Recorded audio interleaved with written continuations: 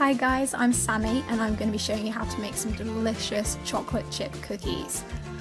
Right, so you're going to need some softened butter, you're going to need some caster sugar, you're going to need some light brown soft sugar, you're going to need some self-raising flour, some vanilla extract, some salt, one egg, and of course 200 grams of chocolate. To get started, you're going to need a mixing bowl, a weighing bowl, a sieve, some weighing scales, a whisk, a mixing spoon, and of course a baking tray. Make sure you set your oven to 180 degrees or gas mark 4. Please get an adult to help you with this bit. Let's get started. Now you want to grab your butter Make sure your butter is nice and soft, so get it out of the fridge nice and early so it can soften up. This makes mixing the dough so much easier. Put the butter in the mixing bowl.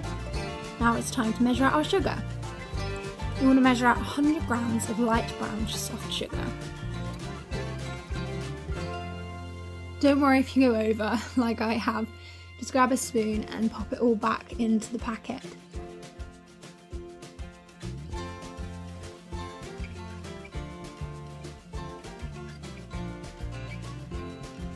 Now you want to grab your caster sugar. You're going to need 125 grams of this. And do exactly the same, weigh out on your weighing scales.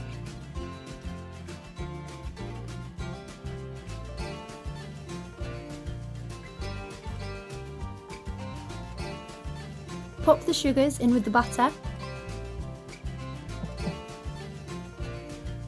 Now you want to mix the butter and the sugars together until nice and creamy.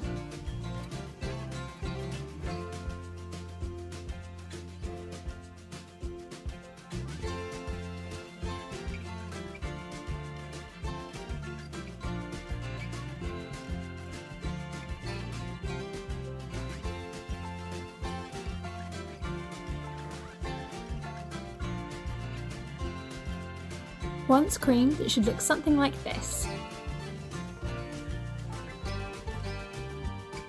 Now you want to grab one egg.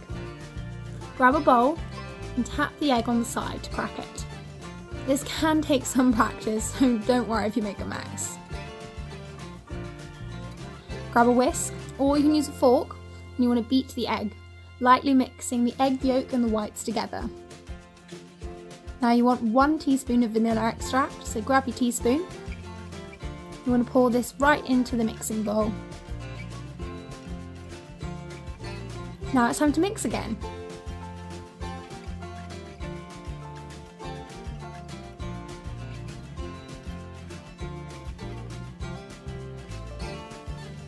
Now you've got a nice mixture all creamed together, it's time to weigh out your flour.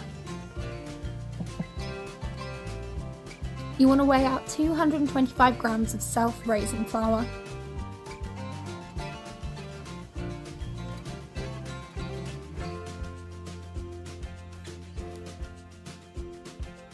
Once this is all weighed out, you're going to want to grab your sieve.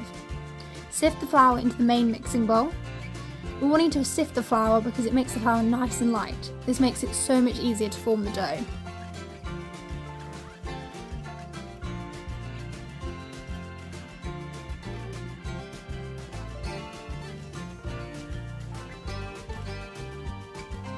Once sifted, it's now time to grab our chocolate. Pour the chocolate into the mixing bowl. You're going to want 200 grams. Now it's time to sprinkle in a pinch of salt.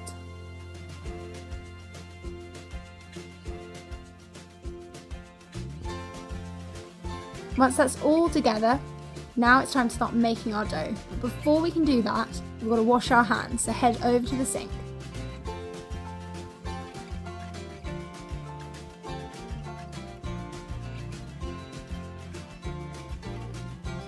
Once you've completed that, it's time for the messy part. It's time to make our dough. Use both hands to knead and combine the mixture. It should start coming together to form a big doughy ball. Keep working at it and it will get there eventually.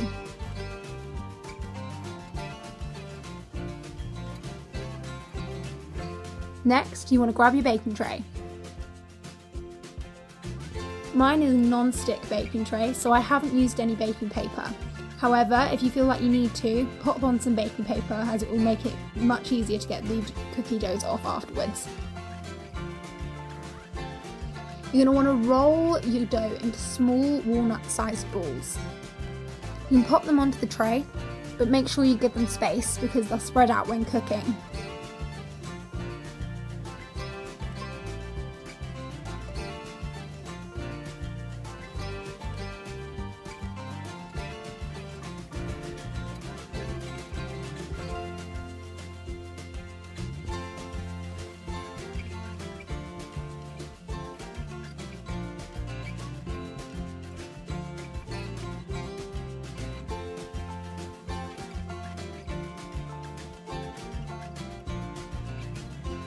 Once you've spread them out, you're going to want to head over to the oven and pop them in there. Make sure you set your timer. I set mine for 8 minutes because I like them nice and gooey. However, if you want them to be a bit more set, I'd leave them for around 10 minutes or so. Now it's time to get them out of the oven. Once out the oven, leave them on the counter to let them harden up and they'll soon be ready to eat. Make sure you store them in a Tupperware to keep them fresh if you don't eat them all at once.